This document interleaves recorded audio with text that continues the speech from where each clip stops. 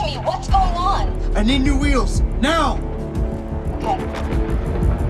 Go see a man named Yuri at 4th and Industrial.